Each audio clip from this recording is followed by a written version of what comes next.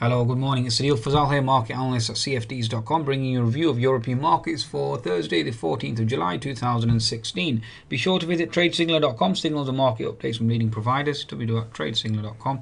You can certainly download the app at Google Play and the Apple App Store. Okay, in terms of the market uh, price action and the movements this morning, we have the uh, Shanghai uh, down overnight, certainly uh, indicating weakness, uh, certainly exhaustion. The Nikkei up 1% and the Hang Seng up 1%. But given the fact that the Nikkei, Nikkei is certainly associated with the Shanghai is down, indicating risk aversion. Okay, so um, now today the eyes of all focus really is on the BOE. BOE will dictate as we have another central bank now potentially opening up the uh, the QE taps again. Okay, so again all eyes on that. Uh, overnight really was all Australian data in terms of jobs and inflation. Uh, really, other than the fact that uh, the US market certainly finished on the downside overnight, certainly finished towards the close, finished weak given the weaker economic data out the US, and uh, certainly have pushed and ticked higher on the back of obviously uh, expectations of BOE enacting further QE. So all eyes will remain on QE. Now, talking about QE, let's bring up the chart of GBP USD. GBP USD currently is positioned on a uh, inverted head and shoulders formation, indicating that uh, there will be no additional QE. So again, that's interesting. So you have a daily chart and you clearly see that you have an inverted head and shoulders left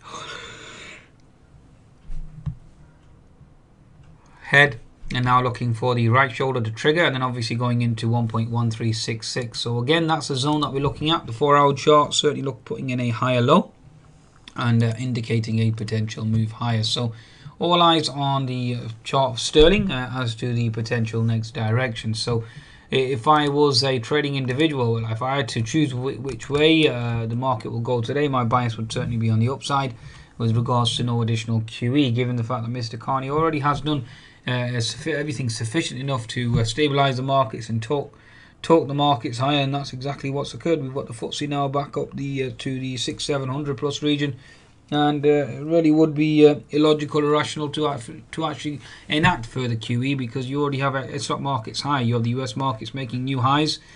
It wouldn't it doesn't make logical sense. Okay, it doesn't make logical sense at all to uh, enact further uh, a potential QE or a potential rate cut because you basically have a cushion to fall back on. Okay, especially with equity markets higher at present. Okay, so again uh, the latest report as well is that corporate borrowing costs have certainly re- returned to pre-Brexit levels, so or pre-Brexit chaos. So again, uh, certainly a lot of stabilized signs of stabilization, and really you want to uh, save your bullet to uh, to be fired another day. Okay, so especially with the situation on the environment now at the moment uh, being uh, one of bullish bias, it certainly would be um, very stupid for him to fire his bullet right now. Okay? You want to leave that bullet you need to leave the powder dry okay? So again uh, looking for a inverted head and shoulders formation here. In terms of the uh, German DAX let's just bring up the German DAX for you. Daily chart the German DAX at the moment is smashed uh, is right into that 200 MA is right into the uh, fib 75% so again looking for resistance here folks okay 60 minute chart is uh, we did have a rising contracting wedge pattern. That certainly obviously has been negated now. You have the unfilled gap that's been left below okay? Uh, German DAX at the moment into its pivot R3 resistance okay? Uh, you have this unfilled gap below as well so all eyes on that potential gap being filled today. So that's basically what my focus will be on the potential unfilled gap okay?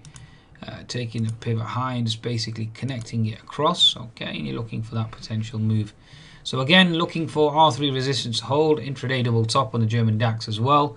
Certainly looking for that to hold okay? Certainly looking for gap fill to close below. Yeah, so German DAX from my perspective remains weak.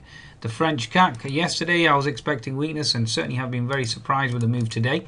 Okay again it's on the back of uh, potential Mr I think there was a Italian bank this morning potentially recapitalization etc and uh, certainly has helped the European indices move higher and along with the potential obviously of uh, the prospect of QE from the uh, BOE and uh, we already know Japanese QE has been helping equity markets higher. So again, looking for gap fill below at 4338, folks. So watch out for 4338 on the French CAC. Certainly looking for weakness. Okay, on the 10 minute chart, 60 minute chart at the moment.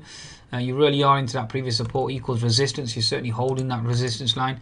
You're into pivot R3 resistance as well. So again, looks certainly looks over exhausted. Uh, the fib, uh, we've certainly taken out the fib 75%. Okay, so again, it's interesting to see if we can potentially put in a topping tail and start to move lower today.